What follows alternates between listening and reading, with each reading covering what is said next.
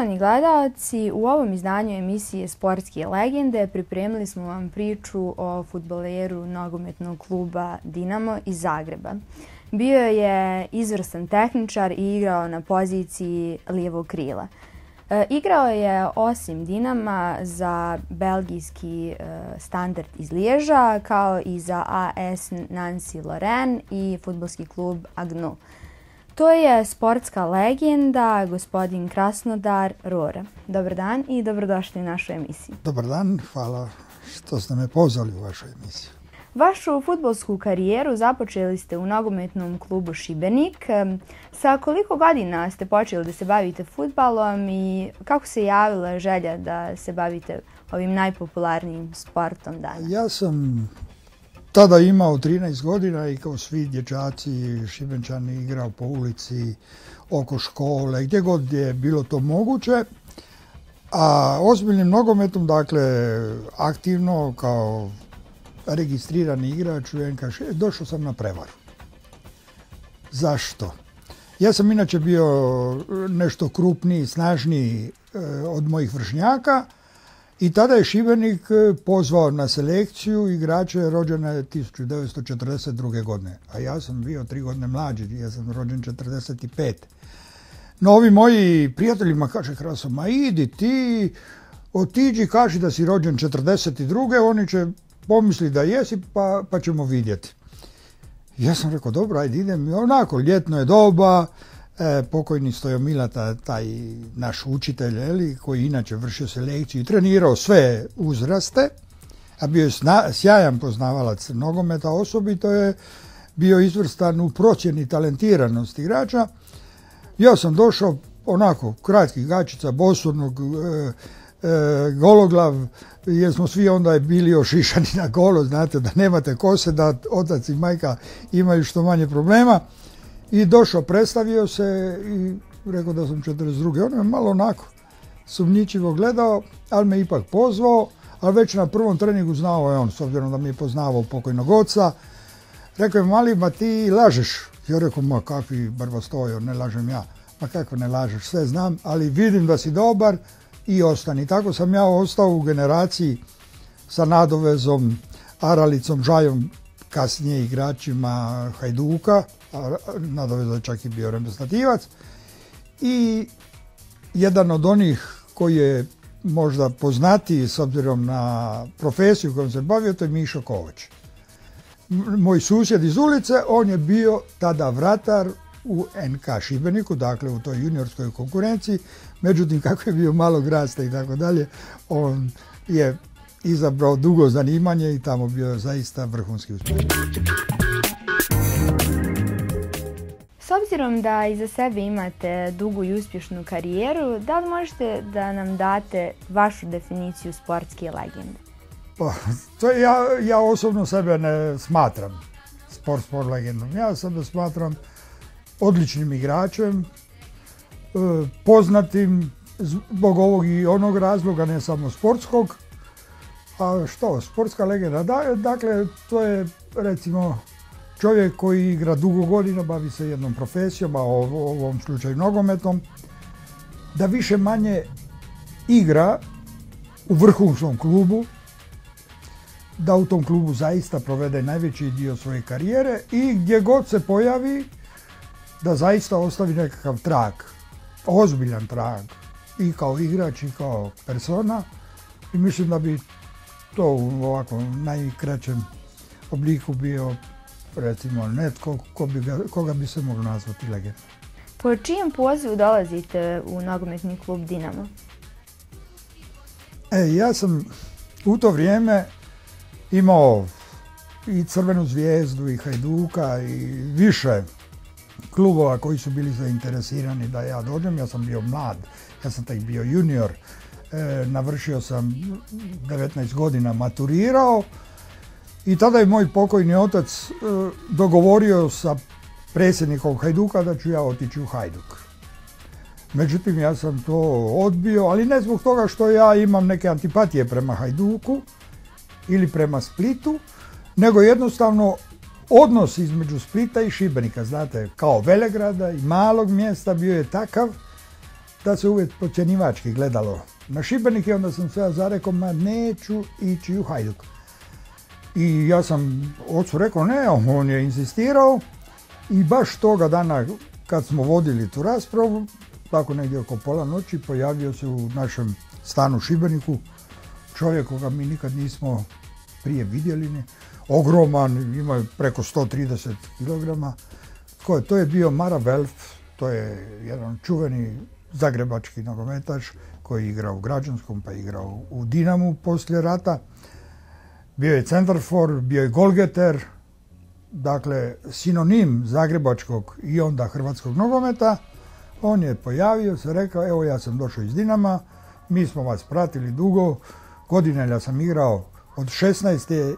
od 16. godine do 19. u prvoj momčadi e, Šibenika i rekao je u Dinamo, ja sam rekao tata ja idem u Šibenik. Otac nije to mogao odbiti i te, te iste noći mi smo sjeli na vlak, otišli za Zagreb i tako sam ja postao igrač Dinamo.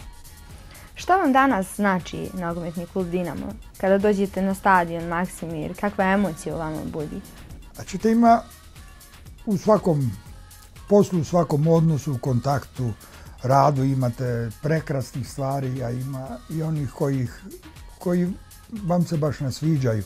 Tako je i u odnosima kluba i igrača, bez razlike koliko ja sam strašno puno godina provodinom, dakle devet punih godina, osam igrajući, jedna godina je bila vojska i preko 25 godina sam djelujem kao trener u Dinamo, u prvom redu radeći sa mladima. U svakom slučaju ovih lijepih, krasnih stvari ima na pretek, ima i više, ali ima jako malo tih koje, koje mi se nisu dopale i te me ovako dosta smetaju. Da li posjećujete utakmice? Kako ne, sad u zadnje vrijeme nisam, s obzirom na moje obaveze, pa obaveze oko obitelji i tako, nisam baš na nekim, ali ja konstantno posjećujem utakmice, imam tamo naše društvo, nas nekoliko iz moje generacije Dinamovaca, imamo tamo i našu ložu, mislim da je broj 14, mada ja odem u neku drugu, pogledamo utakmice, malo se nađemo, popričamo, prokomentiramo da li nam se svidjelo ili nije svidjelo i to bi bilo to. Odigrali ste ukupno 459 utakmica i dali preko 100 golova dresu Dinama. E, sigurno jedna od najuspješnijih utakmica po kojima ste ostali zapamćeni je ona e, protiv Leeds Uniteda kada ste pobjedili e, i osvojili titulu, to jest kup velosajemskih gradova. Osim te utakmice, koje su vam najznačajnije u karijeri? Pa baš, u dresu Dinama? Značajne. Meni se neke posebno utakmice sviđaju, e, gdje sam zaista sjajno igrao. To je u prvom redu u toj godini, u toj e, godini kad smo osvojili, to je ta uzvratna utakmica sa Juventusom. Ja sam desetak minuta nakon početka drugog poluvremena, jer tada nije bilo rezervi, tada se nije moglo mijenjati igrača. Ako ste se uzlijedili, ne možete igrati, ostaje devet. Znači čitavu utakmicu. I mene su nekako, jer mi je pukla arkada, zašili glavu, zavezali zavojem, nekakav fini veliki turban i ja sam s tom glavom desetak minuta sa zakašnjenjem došao na teren i tada odigrao jednu od sjajnih utakmica protiv Juventusa budućeg prvaka Italije. Pobjedili smo i 3-0, to je bilo četvrt finale. U sjajnoj suradnji sa e, Lamzom i sa Brnčićem po lijevoj strani. Mnogi su rekli da nikad nisu vidjeli bolju suradnju tri igrača po istoj strani nego na toj utakmici nas. Onda nadalje nešto što svakog nogometaša pa i mene čini ovako prilično veselim i zadovoljnim. To je svakako turnir heksagonala u Santiago de Chile u konkurenciji jednog Santosa sa Peleom, Amerike, prvaka Meksika, e, tri, tri, e, tri najbolja kluba iz, e, iz Čilea. Na toj drugoj utakmici večeri u prvoj smo dobili Univerzitario Chile 3-0, dao sam dva gola I onda smo igrali i to u promijenjenom rasporedu. Jer kad su vidjeli da mi sjajno igramo, onda su nas htjeli zaustaviti i odmah su nam Pelea i Santos stavili na vrat u, u, drugom, u, u drugoj utakmici. A tri utakmice se igraju, dakle šest klubova, tri utakmice se igra u, u noćnom programu. Posljedna završava negdje oko pola noći, tako smo mi igrali tu završnu utakmicu. Odigrali smo dva, dva, ja sam bio opet strijelac i tada sam proglašen najboljim igračem te večeri. No, vezano uz tu utakmicu bio je i poziv. Sutra dan Pele i menadžer Santosa su me pozvali na večeru i Pele mi je ponudio bez ikakvog kolišanja da dođem igrati u Santos. Ja sam imao 22 godine, ja sam rekao to je za mene prekrasan poziv, e, sjajno priznanje, ali ja nažalost do 28. moram igrati samo u Dinamu, odnosno onda u Jugoslaviji, jer nismo imali mogućnosti prije te godine napustiti. Kako ste se pokazali u derbi utakmicama sa Hajdukom? Sa Hajdukom? Pa uvijek sam bio jedan, moja prva utakmica sa Hajdukom u Splitu bila je pobjeda i ja sam bio strijelac. Baš prva. Međutim, ja sam i za Hajduk odigrao jednu utakmicu. E, bilo je to, mislim, 69. godine. E, igrali smo s Hajdukom prvenstveno, odigrali 1-1, a u srijedu je u Splitu gostovao Palmeiras, prvak Brazila.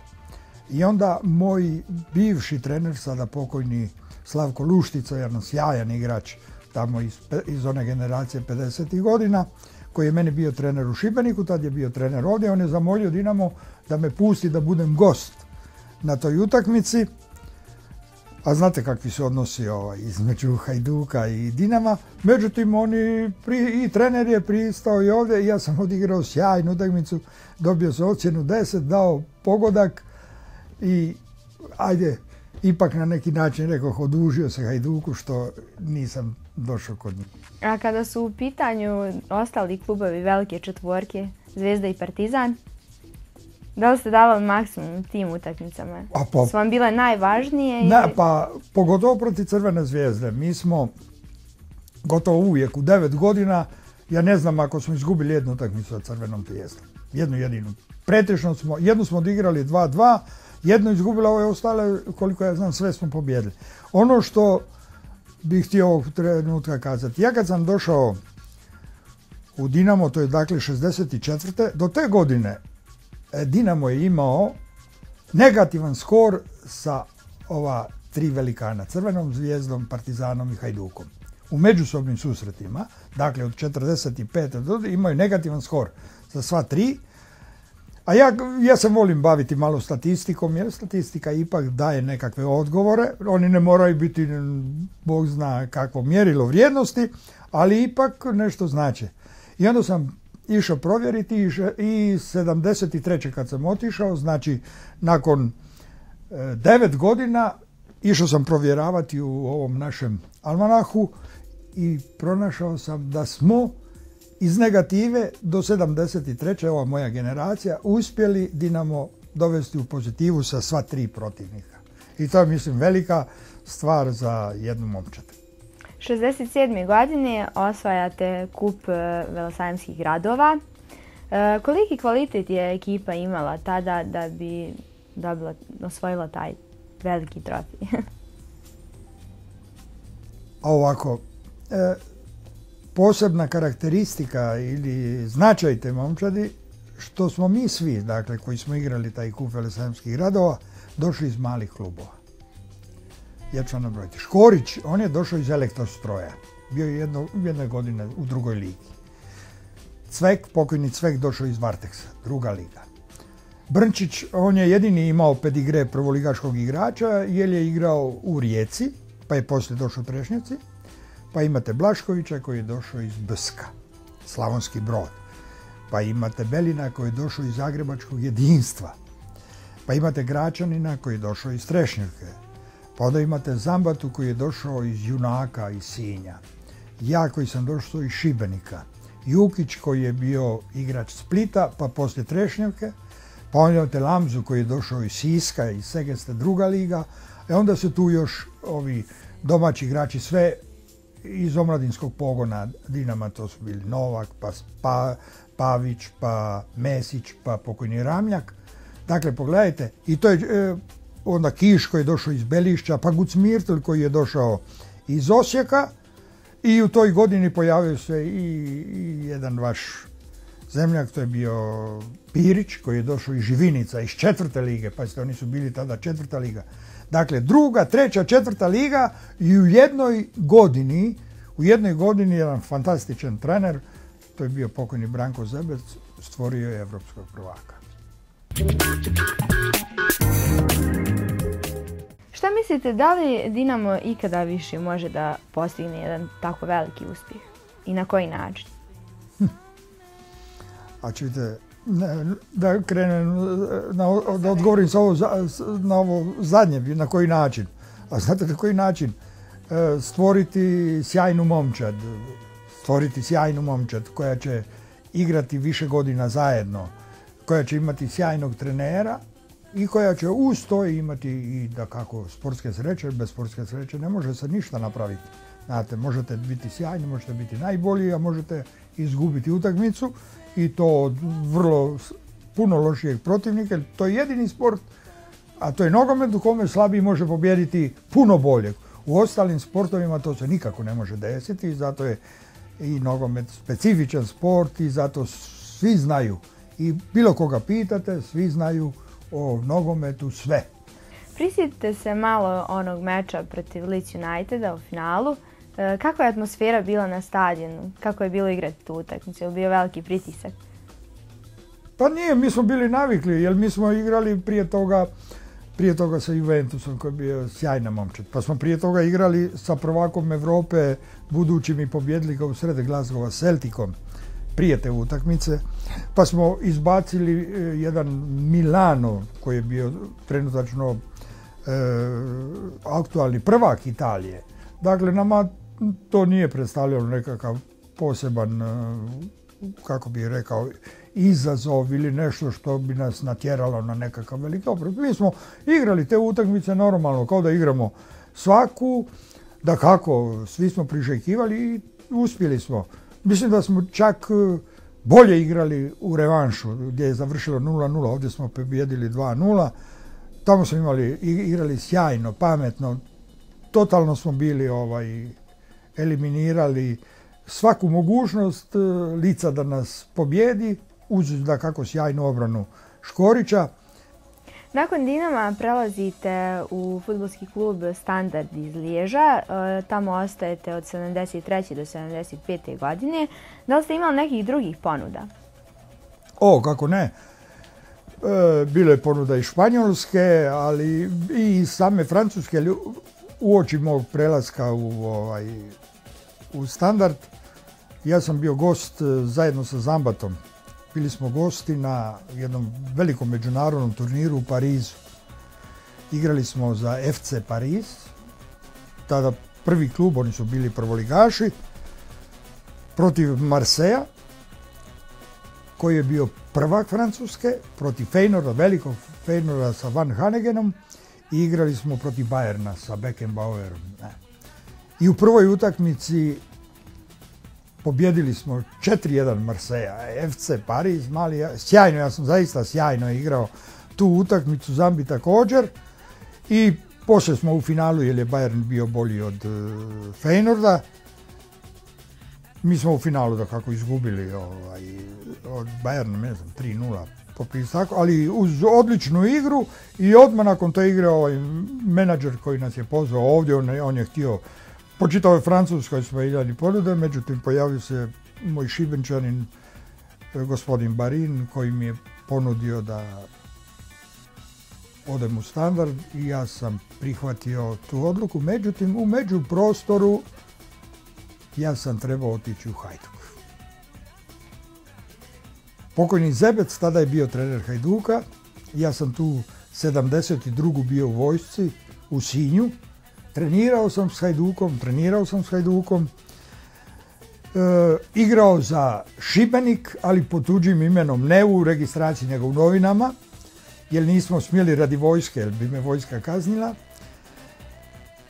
I pokojni Branko je sa mojom suprugom Marijanom dogovarao da ja nakon izlaska iz vojske odem u Hajduk. Sve je bilo aranžirano, sve je bilo, e, rekao bih, korektno napravljeno. E, ja bi bio najprije otišao u inozemstvo, pa bi iz inozemstva vrlo kratko nakon toga se vratio u, u, Hajduk, a sve je bilo vezano za ovaj stan, jer je Dinamo inzistirao da ako odem igrati van Zagreba, dakle onda na području Jugoslavije, da ne mogu zadržati ovaj stan, mi smo htjeli, s obzirom da smo tu se zaista proveli lijepe godine, super se snašli i onda ja sam, s obzirom da bi to bilo vidljivo, znate, da sam ja napravio tu, trebao sam ići u Nirberg, pa tamo jednu mjesec dana igrati za Nirberg, pa iz Nirberga kao došlo do nesporazuma bi prešao u, u Hajduk, jer tada bi izbjegao ovu mogućnost eh, da idem direktno u, neki hrvatski klub ili koji drugi. Međutim, meni je to bilo ovaj, tako prozirno da sam rekao ne dolazi obzir i onako tenzije na, na relaciji Zagreb-Split uvijek su postojale, nema smisla, ja sam ipak želio i moja supruga, jer ona je rođena u Zagrebu, željeli smo nastaviti u Zagrebu i onda nismo htjeli praviti i ja sam se onda odlučio za standard iz Liježa. Koje ste uspjehe postigli sa tim klubom? Sa standardom iz Liježa, pravda vam kažem, bili smo uvijek u samom vrhu. Samom vrhu. Uvijek smo igrali u Europi i to sjajno. I to sjajno. Uvijek smo završavali negdje po prilici do polufinala. A to je velika stvar.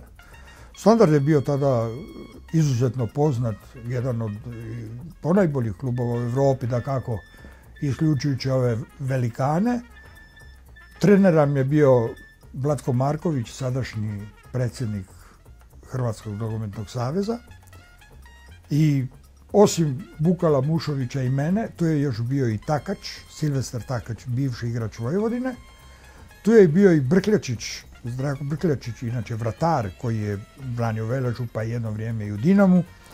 Ali on u to vrijeme samo je bio re, a sve ostali Pi, Ode, Valke i kompletno društvo bili su reprezentativci Belgije. I jedini, jedini izravni, izravni ovaj protivnik e, za titulu bio nam je briselski Anderlecht. I čak i u toj u jedinoj utakmici prije suspenzije moje od četiri mjeseca u derbiju smo ih dobili 1-0, bili prvi i onda ja sam ispao, zaista sam bio u sjajnoj formi, pa nam se odlijedio prvi vratar Pio koji je bio onaj neprikosnovni reprezentativac, pa je Van Moor, inače tri godine za redom bio je zlatna kopačka Belgije, slomio fibulu i onda se društvo malo raspalo i onda smo do kraja se negdje borili za vrh, ali Anderlecht imao sjajnu momčad, sjajnu sa Van Himstom, sa Resenbrinkom, reprezentativcem nizozemske, nismo je mogli kasnije parirati. Pomenuli ste suspenziju, o čemu se tu radi? Pet pobjeda za redom, pet pobjeda za redom, imao je standard, sjajno igrao, nismo ni primili ni gola, mislim, imali smo jednu golo razliku, 12, 13, 0 i šest utakmicu igrali smo u, u Antwerpenu, ali pazite, odnos u Belgiji, to mi je isto kao malo ovako nacionalno pitanje u bivšoj Jugoslaviji, tamo su vam Valonci i Flamanci. Flamanci su u većini. Samo dva kluba, samo dva kluba ili tri kluba su tada iz, bili iz Valonije, iz frankofonskog dijela Belgije, dakle standard FC Liješ, dakle iz istog mjesta i Charleroi. Sve ostalo drugo vam je Flamanci. A 18 klubova, znači 3 protiv 15. I vjerojatno su nas htjeli zaustaviti, kažem, suda sam je stvarno štetio, dosudio nam je gol iz čistog opceda. Pa prekršaj koji je napravio napadač u našem 16 pretvorio je u 11 da na kraju ne bi svirao 11 kakav jednostavno ne možete, ne možete ga skriti. Ja ne znam kako je on uspio e, donijeti odluku da to ne svira i ja sam dotrčao do tog suca i to rukama na leđima, malo sam ga ovako ramenom gurnuo, on se malo zaljuljao, lijepo mi se nasmijao, dao mi crveni karton i onda smo nakon toga, jer još nije bilo suspe, tamo suspenzija ne znači da ne možete igrati. Tek kad bude vam izrečena kazna, onda ne igrate i sljedeće kolo smo igrali s Anderlechtom i pobjedili Anderlechta. I onda sam ja otišao na taj prijeki sud u Brisel, lijepo ustao, kazao svoje, suci su, glavni sudac je bio vrlo korektan. On je pokušao mene zaštititi, ali pomoćni suci su rekli da sam ja njega udario šakom u glavu. I nisu odustajali od toga i onda, onda izađite gospodora, uđite gospodora, ustanite gospodora, kaže četiri mjeseca suspenzije. Četiri, ja sam poludio bio tog trenutka, nisam, nisam francuski ne znam govoriti, ja bi možda kako sam ja dalmatinac, onako malo e, malo nagle naravi, možda bih i reagirao, a ovaj me moj tajni klub sam ovako pritišće, kaže gud, gud, komunicirali smo na njemačkom, meni gud, ja kažem, ma šta je tu gud, na hrvatski govorim, ja kažem, šta je tu gud, četiri mjeseca suspenzije i na kraju on mene zagrli, ja kažem, pa šta je ovo, nije mi bilo jasno, suspendiran igrač prve momče četiri mjeseca, a on zadovoljan. Joj, kaže, pa mogu se dobiti doživotnu diskvalifikaciju. I onda sam ja probljedio, skoro se oznojio i na tome završila priča. Nakon Belgije igrate u dva francuska kluba. Kako pamtite taj period? I onda smo u derbiju odigrali s Mecom 0-0 i onda je krenula naša serija. Sa zadnjeg mjesta završili smo šesti u prvenstvu, polufinalisti kupa i to bili bi mi u finalu da se Platini i ja nismo baš protiv Marseja na parku Prinčeva ozlijedili i postigli smo nešto što je tada bilo nezamislivo. Tada se tada je u prvenstvu Francuske e, bio bonus. Dakle, ako pobjedite s tri gola razlike, dobijete bod više. Ne dva, nego dobijete tri. Znači, morali ste pobijediti 3-0, 4-1, 7-2, 7-3. Znači, tri gola razlike. Mi smo do kraja prvenstva napravili 11 bonusa. 11 pobjeda s tri gola razlike i to od reda Bordeaux 7-2, Marseille koji su 4-1, Saint Etienne 3-0, Monaco 3-0, Sošo 5-1, Strasbourg 5 strašno igrali i onda Platini je baš u tom periodu izrastao u, ovaj, u igrača koji je kucao u reprezentaciji i postao reprezentativac. Ali ja mogu kazati da sam ja zaista ovaj, bio jedan od glavi autora tog, tog uspjeha. Igrali ste za najbolju reprezentaciju Jugoslavije. Što vam je značio poziv za reprezentaciju? Iz e, razmišljanja, iz onog vremena, ne. Svi smo mi bili više manje indoktrinirani Jugoslavijom, i svakako bila je velika, velika stvar biti član najbolje momčadi, najbolje reprezentacije, odnosno reprezentacije Jugoslavije. Tako da je to meni bilo sjajno priznanje da sam se tome veselio i to ne treba skriti zašto i nema razloga. Ja sam debitirao, ne znam, da, ne znam datum, ali mislim da je to 67. Te godine sam bio po svim ocjenama najbolje lijevo krilo u, Jugoslaviji. Đajić je bio kao moj izravni veliki konkurent, uvijek i danas uvijek priča, priča da nije bilo Đajića i ovako i I on nije, nije igrao i ja sam onda bio pozvan, igrali smo protiv tada sjajne nizozemske reprezentacije sa Krojfom, Neskensom, Repom, svi najbolji, mislim, ona, nizozemci u najboljem izdanju. Dobili smo ih 2-1, dobili smo ih 2-1. Ja sam odigrao sjajnu utakmicu, ali nakon te imali smo i zadnju kvalifikacijsku utakmicu za odlazak na Europsko prvenstvo 68. u Italiji. A kako sam ja sjajno odigrao, onda e, Rajko Mitić i Stanković koji su tada bili bivši igrači, a tada selektori, oni nisu imali hrabrosti, pa jeste nisu imali hrabrosti da me, da me maknu, pa da stave Đajića, jer sam zaista sjajno odigrao i ostavili mene na, na lijevom krilu, a Đajića stavili na desno krilo. Mi smo pobjedili 4-0. Ja sam dao prvi gol. Dobio ocjenu 10. Opet bio najbolji igrač i po čemu, po čemu mi je ta utakmica ostala sjećanja jer sam tog, tog dana nam se rodio sin. Jeste li se bavili trenerskim poslom? O, kako ne, pa ja čitavo vrijeme, ja sam nakon što sam završio karijeru najprije radio kao novinar. Ja sam pet godina sam radio kao sportski novinar u sportskim novostima. I kažu vrlo uspješno. I onda na nagovor e, pokojnog Branka Zebeca, a zapravo ne prije toga, znate kako, ja kao bivši igrač, pa sad novinar, imali ste uvijek nekakve konfliktne razgovore sa trenerima, nogometnim trenerima. Je, kaže Kraso, pazi ti si sjajan igrač bio, ali nije to to, znaš ti, a ja sam, kao branim ovu novinarsku struku, kao igrač, a oni kao stručnjaci. E, onda sam ja rekao, eh, kad je to tako, sad ću upisati trenersku školu. Ja sam je upisao, za dvije godine diplomirao kao najbolji student na Zagrebačkom fakultetu. Moram se pohvaliti.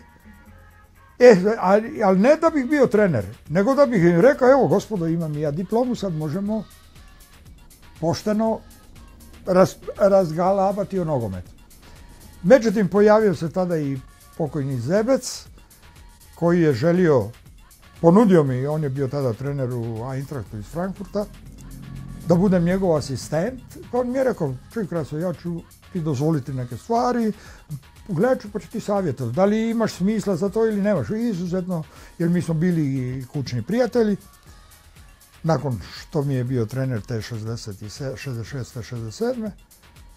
Ma kaže, sve je sjajno ovdje i onda sam ja nastavio s njim u Dinamu jednu polusezonu i, i konstantno od, 60, od 84. do danas ja sam trener. Možete li da uporedite futbal nekada i sada? A čujte, može se,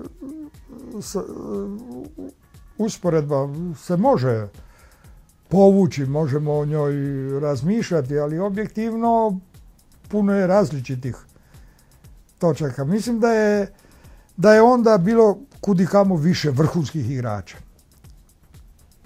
Sjajnih tehničara. E, koji su idejom odskakali od današnjih, od današnjih igrača. Idejom.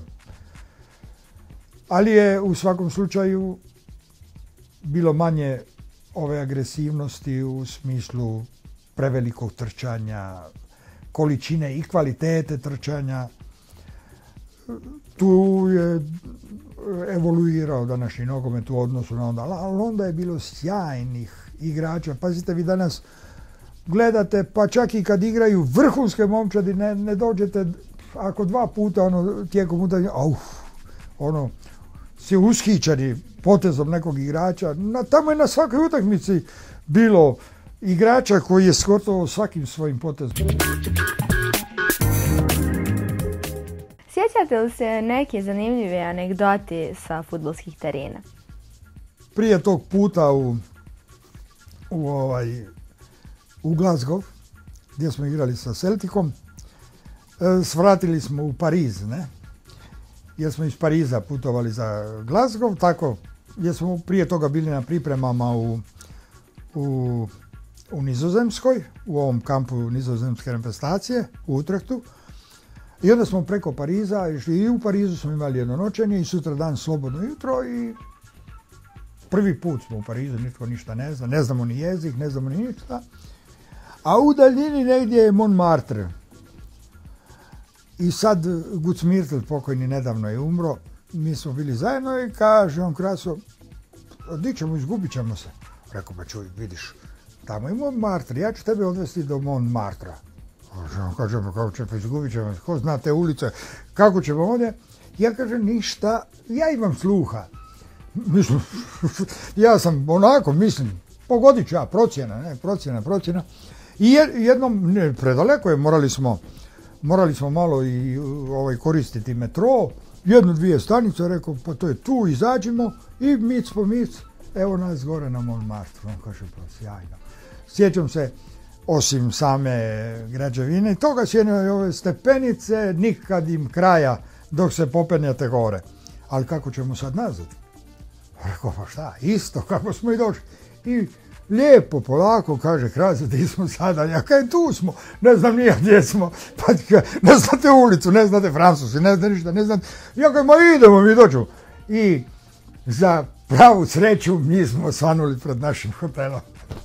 On kaj, pa kako, pa rekao, pa znam, evo, kaj pa to ja znam, šta je to? Kaj je Pariz neki veliki grad, pa se ne možemo snaći. I malo smo se onda smijali tome. I ovi isto, drugi, drugi nisu se ni usudili odlaziti negdje malo dalje, ne, a imali smo kao par sati slobodnog do, do ručka i odlaska za Glasgow.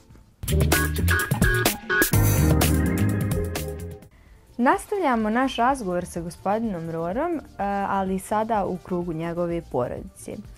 Kolika vam je podrška bila porodica kada ste počeli tek da se bavite futbalom, krenuši od roditelja pa kasnije supruge i djeci? Pa, roditelji, pogotovo moj otac, ne. On je bio ovako najviše zainteresiran za moju karijeru iz razumljivog razloga. Bio je uvijek siromašan, znate, pa je očekivao da će profitirati, što je ljudski. Ali je činjenica da ja kad sam odlazio u standard, onda su me tražili da dadem ove isječke iz novina, ovo, ja nisam imao niti jedan, nakon osam godina nisam imao ni jedan isječak iz novina. Ja uopće nisam, niti moja supruga, ni moja, ni moja djeca, niti ja nismo uopće skupljeni. Ja kažem, ja nemam ništa. Ma kako nemaš? Pa kako ćemo mi tebe prezentirati? Ja onda kažem, stari, pozovem pokojnog oca, kažem, stari imaš ti kak? On ima, on dva ormarića. Svega toga tako da smo to. A supruga, a mi smo bili e, jako mladi, imali smo 19 godina. Mi smo još imali 20 kad smo se vjenčali. E, kćerka je bila na putu, ubrzo se rodila, nakon dvije godine dobili smo i sina. A snalazili smo se, znate, nije, nije to bilo, bilo nekakvog e, bogatstva, lakoće. Mi najprije dvije godine nismo imali uopće automobil. Ja sam se vozio tramvajem, na trening, s treninga, ništa. Tek nakon dvije godine smo kupili auto. Živjeli smo čak u Folnegovićevoj, prije nek smo doseli ovamo. A tramvaj je išao samo do autobusnog kolodvora, sada ne znam da li poznajete Zagreb, a ono drugo sve je pješke. Nije bilo ništa ili uzmi taksi, drugačije se nije moglo. I tako smo se snalazili, jeli smo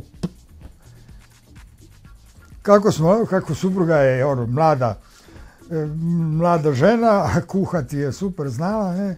onda smo jeli svašta, ali smo se snašli, posvećivali smo najviše vremena djeci, pogotovo nam je čerka bila težak slučaj, nije mogla, nije spavala. E, ja, čitave noći smo gubili nuna, nunajući nju, ali u svakom slučaju sjajno smo se slagali.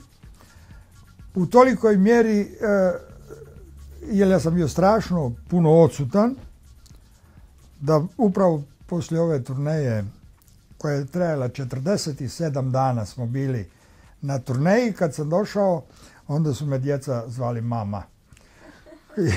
Jer stano su bili sa mamom, a tata nigdje, ne? A u dva mjeseca ih zaboravi, kad su evo, je mama.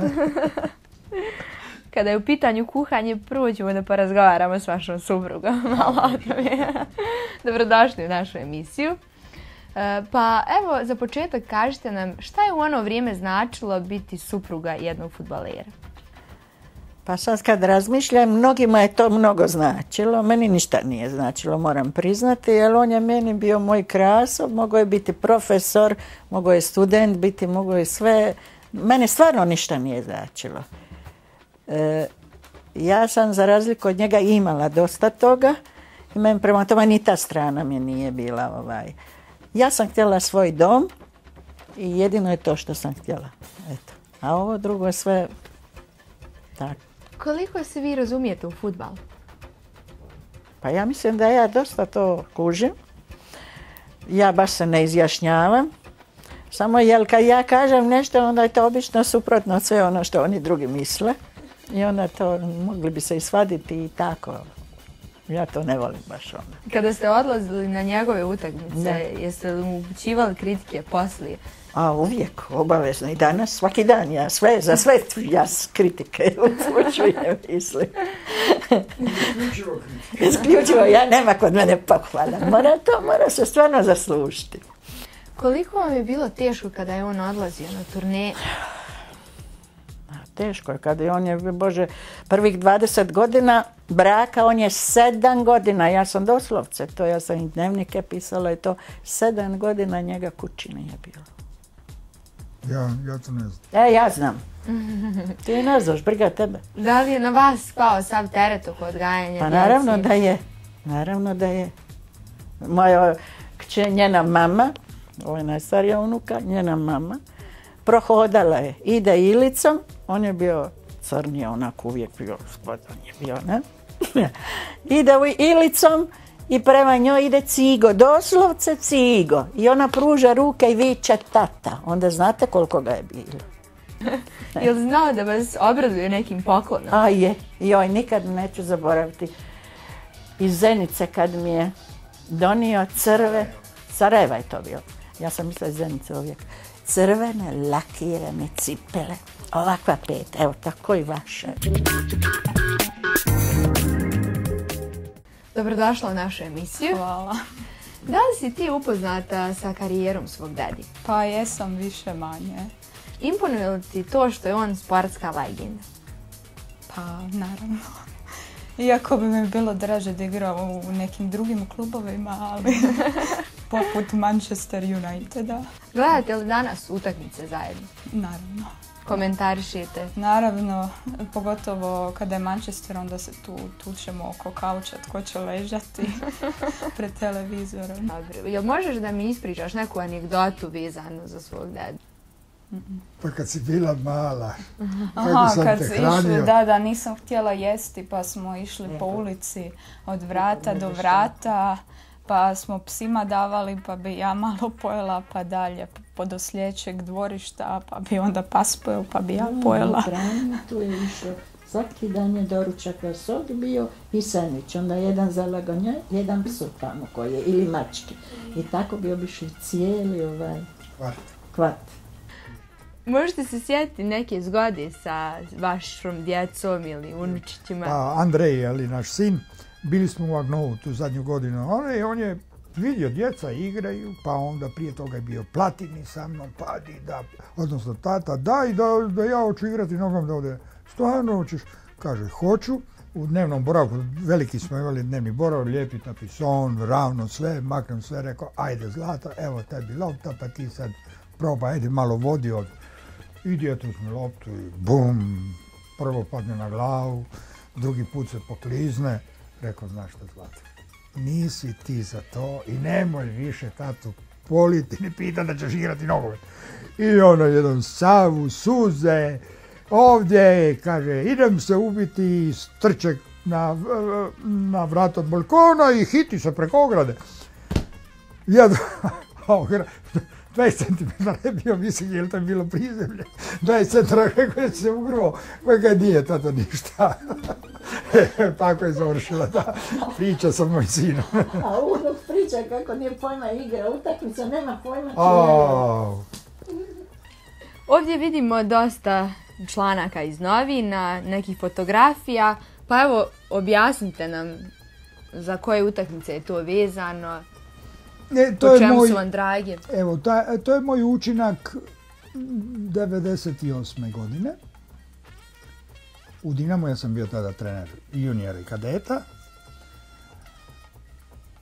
Igrali smo na tri vrhunska međunarodna turnira te sezone.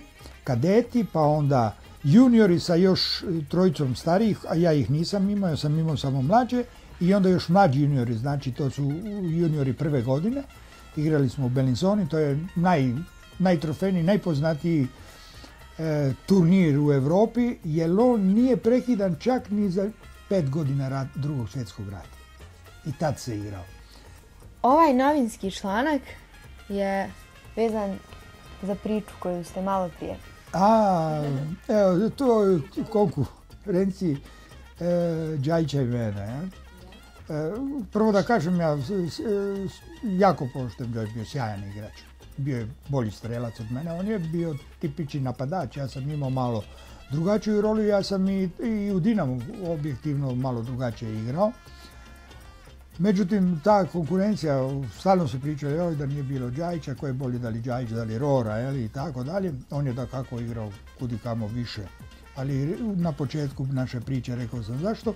Tako da ja e, bez tog Đajića nisam mogao ni u Francuskoj. Prvu utakmicu koju sam igrao za Nancy, bio je sučelice Đajić, igrali smo na Kozici, on je bio član Bastije. Dobili su nas na toj utakmici 2-1, ali kažem u potpuno neregularnom odnosu. Tamo jednostavno niste mogli dobiti utakmicu. Mada je Đajić i, na toj utakmici odlično igrao. I ovdje vidimo fotografiju koja je vrlo važna za vašu Da, to je ta šampionska momčad. Jedina europska titula hrvatskog nogometa. Jedina. Daj Bog da ih uskoro bude više ili barem koja. To su, dakle, sjajna momčad i sjajni ljudi. To bi bilo sve u ovom izdanju emisije Sportske legende. Naš gost bio je bivši igrač nogometnog kluba Dinamo iz Zagreba i bivši reprezentativac Jugoslavije, gospodin Krasnodar Rora. Hvala na pažnji i budite ponovo sa nama za 15 dana. Sa vama je bila Irina Radonić.